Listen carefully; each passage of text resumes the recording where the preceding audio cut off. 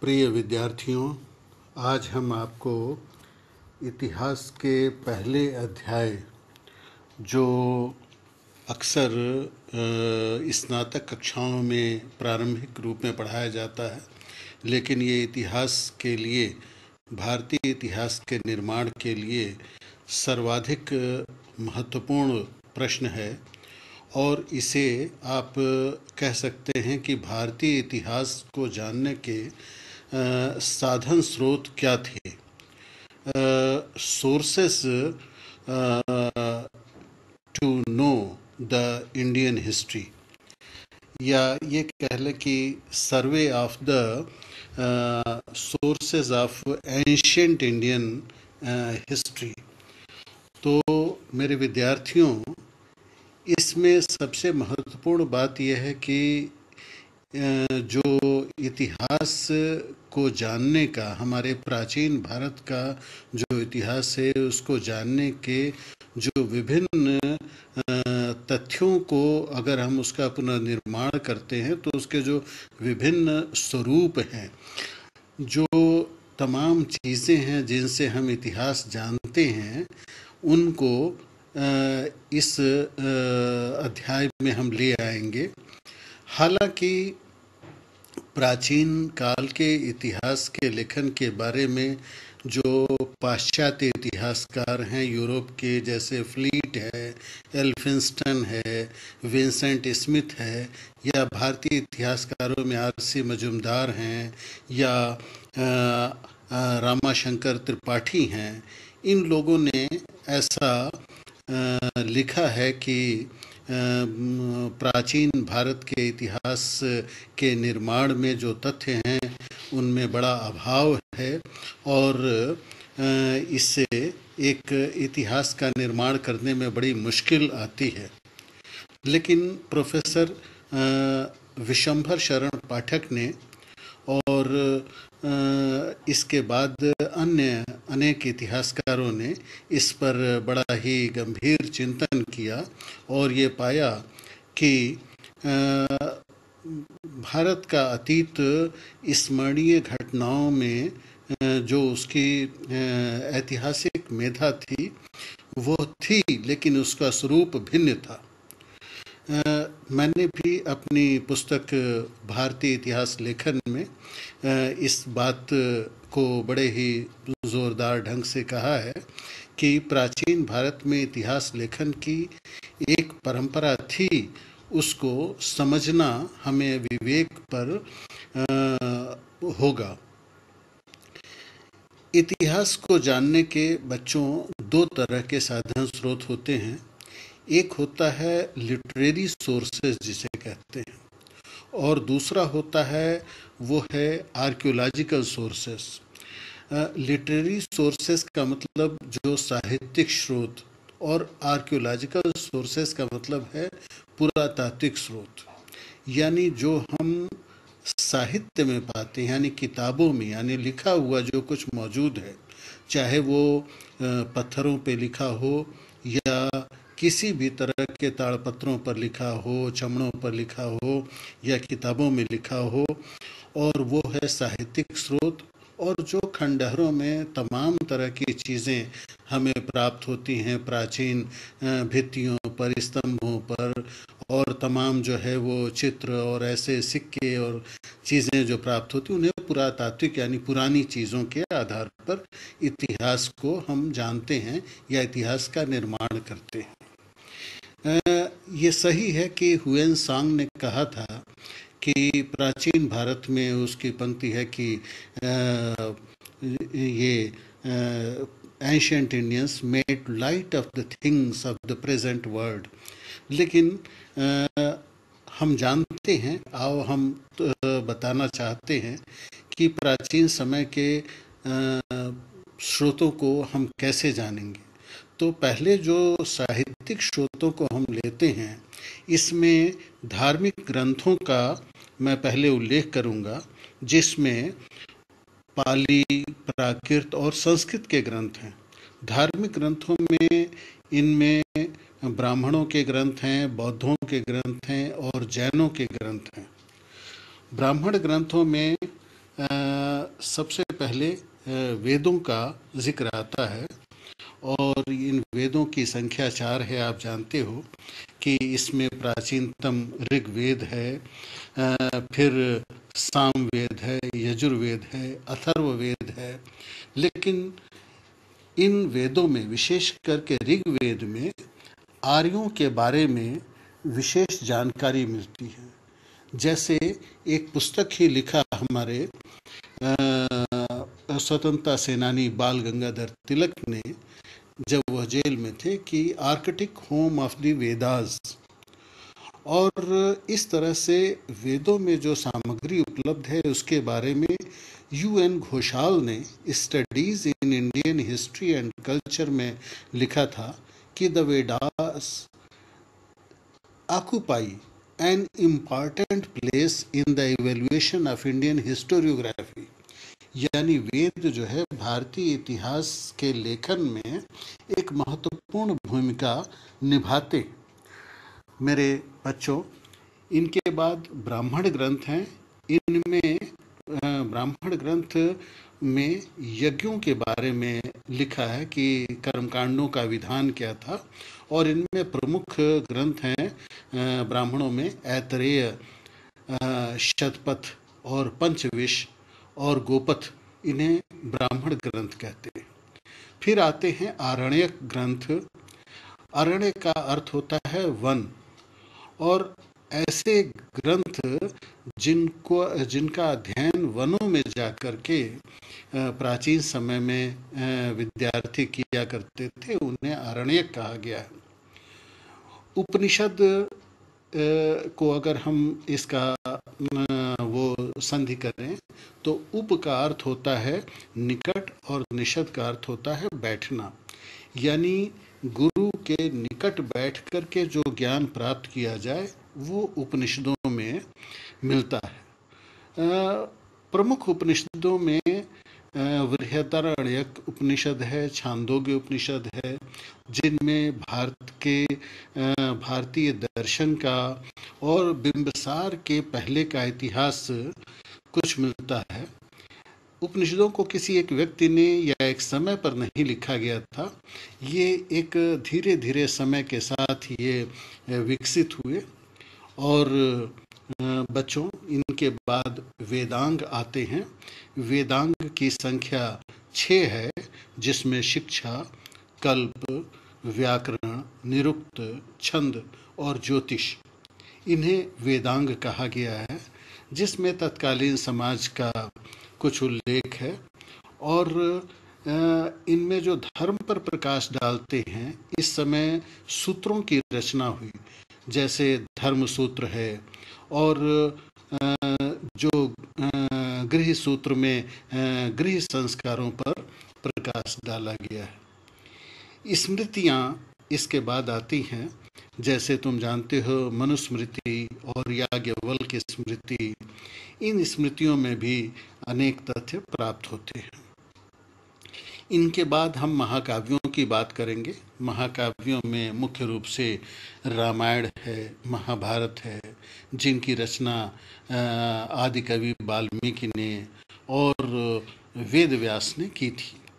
इनमें तत्कालीन सामाजिक, राजनीतिक, धार्मिक और आर्थिक स्थिति पर प्रकाश पड़ता है।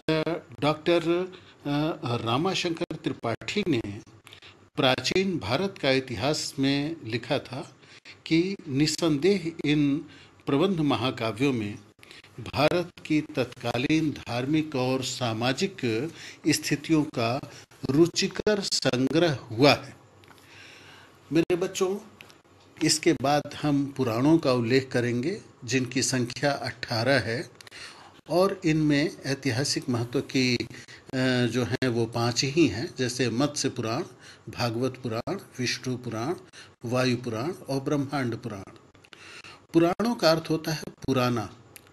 और डॉक्टर रामाशंकर त्रिपाठी को अगर हम फिर तुम्हारे सामने कोट करें तो कहना होगा कि उन्होंने लिखा है कि पुराण अंधकूप में आलोक रश्मि का काम करते हैं।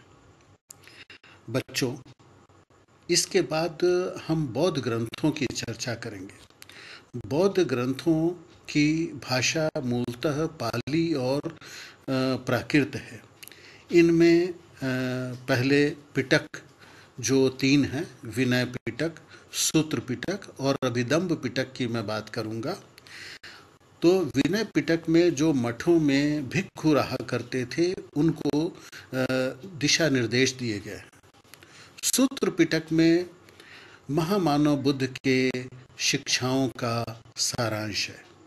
अभिदम्ब पिटक के बेटे सात संग्रह हैं, जिसमें महामानव बुद्ध की शिक्षाओं के दार्शनिक व्याख्या की गई है और इसके बाद जातकों का मैं उल्लेख करूँगा। जिसमें महामानव बुद्ध के पूर्व जन्मों की कथाएँ हैं और इन जातकों का बहुत महत्व है इतिहास के निर्माण में। बौद्ध ग्रंथों में मिलिंद पन्नों को भी याद किया जाता है, जिसमें मिनेंडर के समय का जानकारी मिलती है। दीप वंश है, महावंश है, इन पुस्तकों में मौर्य काल के ऊपर हमें जानकारी मिलती है। बच्चों जैन ग्रंथों में हम उल्लेख करेंगे भद्र बाहुचरित का, परिशिष्ट पर्व का पुण्याश्रव कथा कोश का और लोक विभाग का। ये जैन साहित्य जो है, उनके बारह अंगों में बांटा जाता है, जिनमें तत्कालीन भारत के राजतंत्रों की और जो उस समय गणतंत्र थे, उनकी जानकारी हमें मिलती है। इसके बाद, बच्चों, आता है धर्म निरपेक्ष साहित्य। यानी जो धार्मिक नहीं है, जिनमें जैसे नाटक हैं, कविताएँ हैं, जो काल्पनिक हैं, और जिनमें जीवन चरित्र है, जो अन्य तरह के हैं, जैसे हम पहला नाम लेंगे कौटिल्य के अर्थशास्त्र का। कहा जाता है कि इसकी रचना विष्णुगुप्त ने जो चणक गाँव का रहने वाला था और कुटिल गोत्र का था, उसने चौथी सदी ईसा से पहले चंद्रगुप्त के शासन व्यवस्था का इसमें, यानी शासन तंत्र कैसा होना चाहिए, इस पर ये पुस्तक लिखी थी। फिर मुद्रा राक्षस ने एक नाटक लिखा था मुद्रा राक्षस का एक नाटक है एक नाटक है, जिसे विशाख दत्त ने लिखा था। बच्चों, इसमें नंद वंश के पतन का उल्लेख है और ये सातवीं सदी में लिखा गया। कालिदास का नाम आपने सुना है संस्कृत के महान नाटककार। इनकी जो एक नाटक है, मालविकाग्निमित्रम, इसमें बच्चों पुष्य मित्र और यमुनों के बीच जो लड़ाई हुई थी, उसका उल्लेख है। फिर हम हर्षचरित की बात करेंगे, जिसे वाण भट्ट नामक कवि ने सातवीं सदी में लिखा था और इसमें राजा हर्ष के समय का उल्लेख है। आप जानते हैं थानेश्वर का जो नरेश था, हर्षवर्धन। और इसके बाद बच्चों, पतंजलि की महाभाष्य है, जिसमें मौर्य काल की जानकारी है। गार्गी संहिता, जो एक गार्गी, एक विदुषी थी, उसकी गार्गी संहिता में यवनों के हमले का उल्लेख है। और बच्चों, अब हम उस पुस्तक का नाम लेने जा रहे हैं, जिसे भारतीय इतिहास के प्रथम इतिहास ग्रंथ के रूप में जाना जाता है राज तरंगिणी कल्हण नामक इतिहासकार ने इसमें कश्मीर का इतिहास लिखा था, बारहवीं शताब्दी का। और इसके बारे में यू एन घोषाल ने इंडियन हिस्ट्री एंड कल्चर में लिखा है कि among authors of historical kavyas Kalhana doubt occupies a position of preeminence by virtue of his attention to the minute of general administration. बच्चों कल्हड़ के इस ग्रंथ के बाद विक्रमांक देव चरित्र का भी नाम इसी समय आता है जिसमें बेल्हण ने चालुक्य वंश के बारे में लिखा है और नौ साहसांग चरित है, जिसकी लेखन परिमल गुप्त ने किया था। इसमें परमार वंश का उल्लेख है। गौड वाहो है जिसका लेखक वाकपति राज था। उसने कन्नौज के नरेश यशो वर्मा की विजयों का उल्लेख किया है। और इसके अलावा बच्चों, आपको बताऊँ कि लोकल क्रॉनिकल्स भी, यानी स्थानीय भाषाओं में भी पुस्तकें लिखी गई। जैसे गुजरात में रसमाला कीर्ति कौमुदी जो सोमेश्वर ने लिखी थी। प्रबंध चिंतामणि जो मेरुतुंगा ने लिखी थी। प्रबंध कोश जो राजशेखर ने लिखी थी, और हमीर मद मर्दन, और वास्तुपाल तेजपाल प्रशस्ति, जो जयसिंह ने लिखी थी। वसंत विलास, जो बालचंद्र ने लिखी थी, इसमें भी कहीं न कहीं ऐतिहासिक उल्लेख हैं। इसी तरह से असम में जो बुरंजीज लिखी गई असमी भाषा में और नेपाली भाषा में जो वंशावलियाँ उपलब्ध हैं। इसी तरह से बच्चों, जो तेरहवीं शताब्दी में सिंध का एक इतिहास, जो अरब विजय का चच नामा नामक ग्रंथ में हमें मिलता है। इसी समय हम अगर दक्षिण में देखें तो तमिल साहित्य है, जो बहुत ही विपुल और समृद्ध साहित्य है। इसी तरह संगम युग के का साहित्य भी उपलब्ध है। और बच्चों, आपको बताऊँ कि जो दरबारी कवि थे दक्षिण में, उन्होंने नंदिक कलाम्बकम ये पल्लव राजा नंदी वर्मन तृतीय को इसमें नायक मानकर लिखा गया है। हालाँकि यह इसे क्वासी हिस्टोरिकल नेचर का कहा जाता है, यानी ये पूरी तरह से ऐतिहासिक नहीं है, लेकिन कलिंग तुपरानी इसमें कलिंग पर कुल्लो तुंग प्रथम का हमले का उल्लेख है और ओटाकुट्टर ने एक, वो अपने तीन जो कृतियाँ हैं उसकी, वो क्रमशः विक्रमचोल कुलतुंग द्वितीय और राजराजा द्वितीय पर लिखा। बच्चों चौहान वंश का इतिहास एक पृथ्वीराज रासो में कहा जाता है कि ये चंद्रवरदाई ने लिखा था। ये वीर गाथा काल के हिंदी साहित्य का यहाँ पर उदय हो रहा है। और यहीं पर तुमको बताऊँ कि विपुल साहित्य, एक बहुत ही विश्वसनीय साहित्य विदेशी यात्रियों के वृत्तांत भी हैं। हमारे देश में बहुत सारे प्राचीन समय से ईसा के पहले से ही विदेशी यात्री आते थे, यूनान से, रोम से, अरब से, मिस्र से, और उन्होंने चीन से, तिब्बत से, और उन्होंने बहुत सारे ग्रंथ ऐसे लिखे हैं, जिसमें उनके संस्मरणों में काफ़ी विपुल साहित्य का उल्लेख है। बच्चों हेरोडोटस का नाम आपने सुना है, जिसे इतिहास का पिता कहते हैं। पांचवी सदी ईस्वी पूर्व में उसने जो भारतीय सीमा प्रांत थे और हखमी एम्पायर उसके बीच जो संपर्क था, उसके बारे में लिखा है। इसी तरह टेसियस ने अपनी रचना में भारत का उल्लेख किया है। और सिकंदर के हमले के समय उसकी सेना के साथ बहुत सारे लेखक, कवि, कलाकार चिकित्सक और इतिहासकार भी चल रहे थे। उन्होंने भी जो लिखा है उसमें भारत का उल्लेख है। एक पुस्तक थी इंडिका, जिसे मेगास्थनीस ने लिखा था और वह चंद्रगुप्त मौर्य के दरबार में यूनानी राजदूत के रूप में रहा था।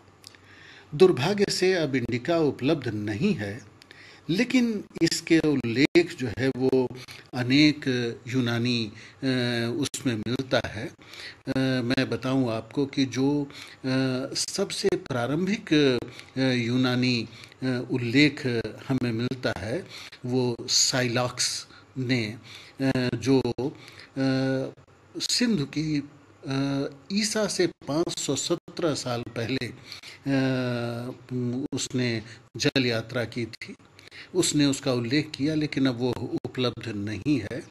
इसी तरह से लैटिन लेखकों में एरियन ने कर्टियस रूफस क्विंटस ने, डियोडोरस सिकुलस ने, जस्टिन ने, प्लूटार्क ने और मेगासनीस का नाम मैंने भी लिया था। उन्होंने इसका उल्लेख किया। बच्चों एरियन ने भी इंडिका का उल्लेख किया है, जिसमें नियार्कस के जल यात्रा का और स्ट्रेबो की भूगोल में, प्लिनी और टॉलेमी के पुस्तकों में भी Periplus of the Erythraean Sea नामक पुस्तक में जिसका लेखक अज्ञात है, यूनानी था, उसने ईसा से पहली पहली एक सौ साल पहले जो मिस्र में रहता था और उसने भारतीय ये बंदरगाहों तक ईसा से अस्सी साल बाद उसने उसकी यात्रा की थी, उसने यहाँ के बंदरगाहों का उल्लेख और यहाँ के व्यापार का उल्लेख किया है कि किन चीज़ों का व्यापार होता था। टालेमी ने दूसरी सदी में जो उल्लेख किया है वो सेकेंडरी सोर्स यानी द्वितीय सोर्स द्वितीय सोर्स है और प्लिनी ने भारतीय पशुओं का भारतीय वृक्षों का और यहाँ के खनिज पदार्थों का प्रथम सेंचुरी में, यानी फ़र्स्ट सेंचुरी में इसका उल्लेख किया था। और इन तमाम शास्त्रों का जो अंग्रेज़ी अनुवाद है, वो जे डब्ल्यू मैक्रिंडल ने किया है। बच्चों जो अभी मैं आपको बता रहा था कि चीनी यात्री भारत में बहुत सारे आए। बहुत सारे चीनी यात्रियों का, जिन्होंने भारत की यात्रा की थी, इनका पहला उल्लेख फो तसु तुंग की नामक चाइनीज़ बुद्धिस्ट इंसाइक्लोपीडिया यानी शब्दकोश में मिलता है। लेकिन उनका बहुत डिटेल नहीं है। जो इसका अधिक है वो मूल रूप से वो हम आते हैं तो यहाँ पर जैसे आपको बताऊँ कि यहाँ पर बेटे जैसे सुमा शीन ने जो चीन का पहला इतिहासकार था, उसने भारत का उल्लेख किया ईसा से पहली सदी में, और जो ची, चीनी बौद्ध भिक्षु थे फाहियान हुएंतसान ईत सिंह इन्होंने जो इनकी रचनाएँ हैं जैसे हुईली ने लिखा है वेनसांग की जीवनी मा लिन की भी रचनाएँ हैं। तो इनमें जो जैसे हमें उल्लेख मिलता है सीथियंस के और यूह चीज़ के हमले का और एक चे की का एक जो संस्मरण है सुमासीन और सीन हान चू। इसमें ये है तो हान वंश का परवर्ती इतिहास, लेकिन इसमें फान ये ने तीन सौ अंठानवे से चार सौ पैंतालीस ईस्वी तक इसमें भारत का उल्लेख किया था। और फिर बच्चों, तिब्बती वृत्तांत का हम उल्लेख करेंगे, जिसमें लामा जो तिब्बती था, उसने कांजूर और तांजूर नाम की पुस्तक लिखी। ये इतनी महत्वपूर्ण पुस्तकें हैं, कांजूर और तांजूर। ये जिनका मंगोलियन भाषा में और चीनी भाषा में इसका काफ़ी प्रयोग किया गया, विशेषकर मंगोल साहित्य जो है या मंगोल इतिहास लेखन जो भारत से संबंध रहा और जो तिब्बती वृत्तांत हैं, वो इसी में मिलते हैं। सबसे विश्वसनीय और महत्वपूर्ण जो प्रथम इतिहास मिलता है, वो मुस्लिम यात्री जब भारत में आना शुरू करते हैं इसमें अलबरूनी का नाम तुम जानते हो कि उसकी पुस्तक तहकीक हिंद में प्रथम बार तत्कालीन भारत की जो विस्तृत जानकारी है, वो मिलती है। और ये पहला ऐसा, जो अगर मुस्लिम लेखक देखें तो तो इब्न खुरदाद बेह था। जिसकी पुस्तक book of routes and kingdoms थी जिसने 844 से 848 ईस्वी में ये भारत का उल्लेख किया था और उसके बाद अबू जैद हसन ने भी किया था। लेकिन अबू रिहान, जिसको अब अलबरूनी के नाम से लोग दुनिया जानती है और जो अलबरूनी के नाम से विख्यात हुआ, जो गजनी के सुल्तान महमूद के समय में यानी 1030 ईस्वी में भारत आया। उसने संस्कृत का अध्ययन किया। काफ़ी समय यहाँ रहा और उसने बड़ी ही मोटी पुस्तक एक तैयार की और प्रोफेसर एस एन सेन ने अलबरूनी के बारे में लिखा है कि he produced must be considered the most comprehensive account of India ever written by a foreigner किसी भी uh, विदेशी द्वारा जो एक प्रामाणिक और इतना विस्तृत वो था ये पहली बार जो है वो अलबरूनी ने लिखा। इसके बाद अल बिला अल बिलादुरी है, सुलेमान है अल मसूदी है, इनके भी वृत्तांतों में भारत का काफ़ी उल्लेख है। बच्चों पहले हम नहीं जानते थे कि जो ग्रीक साहित्य में सेंड्रोकोटस कहा जाता था या एंड्रोकोटस कहा जाता था, वही चंद्रगुप्त मौर्य था। लेकिन जब ये बात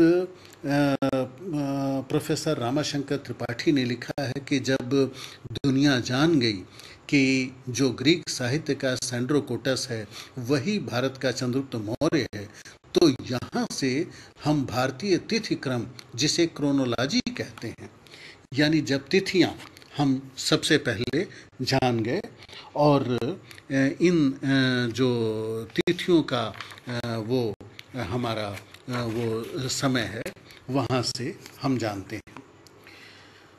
जो दूसरा स्रोत है इतिहास, प्राचीन भारत का इतिहास जानने का, जिन्हें हम आर्क्योलॉजिकल सोर्सेस कहते हैं, पुरातात्विक स्रोत, यानी पुरानी सामग्री, पुरानी चीज़ें, जो खंडहरों में, खुदाई में मिली हों, जैसे कुछ अभिलेख हों, स्मारक हों, सिक्के हों तो ये बच्चों जैसे आपने देखा है कि एंशेंट मानूमेंट्स होते हैं एंशेंट इंस्क्रिप्शंस हैं, या एंशेंट क्वाइंस मिलते हैं तो इनमें काफ़ी हमें प्राचीन भारत के इतिहास की जानकारी मिलती है।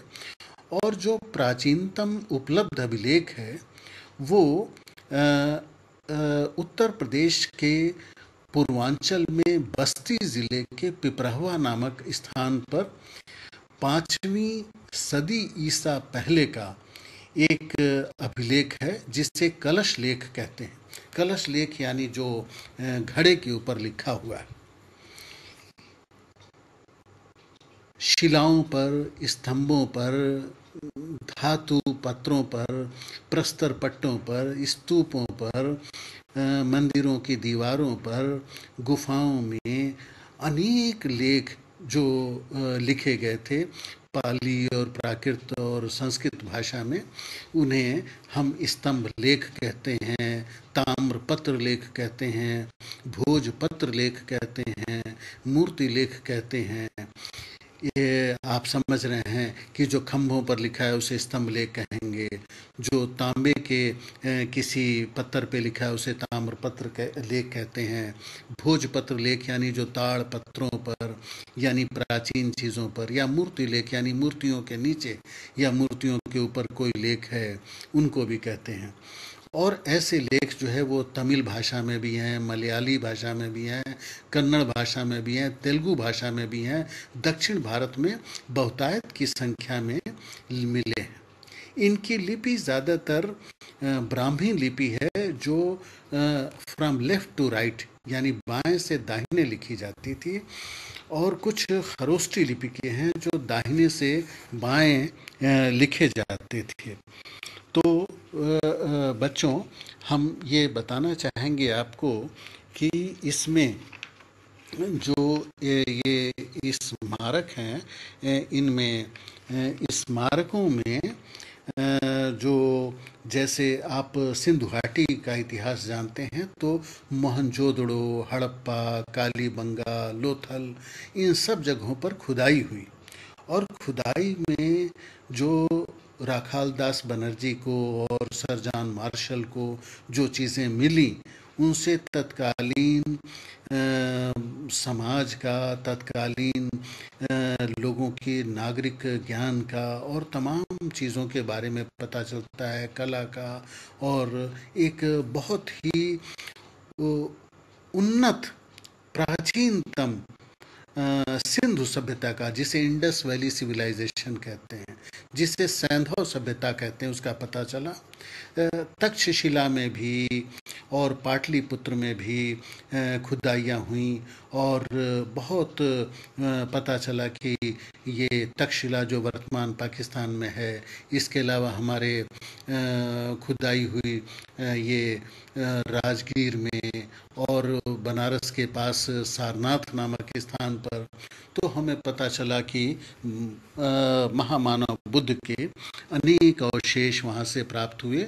कुशीनगर ज़िला देवरिया और कुशीनगर में प्राचीन समय का बुद्ध की लेटी हुई प्रतिमा और रामाभारी स्तूप जिसका पता जो वहाँ जा कर के कनिंगम ने लगाया और इस तरह से बहुत अधिक हमें प्राप्ति हुई। लुम्बनी में भी अनेक सामग्री मिली और आप जानते हैं कि अशोक के स्तंभ जगह जगह पर फैले हुए थे। प्राचीन क्वाइंस सिक्के जो हैं बेटे जिन्हें हम मुद्राएँ के भी कहते हैं, उनसे तत्कालीन राजनीतिक, धार्मिक, आर्थिक और कला के बारे में हमें पता चलता है।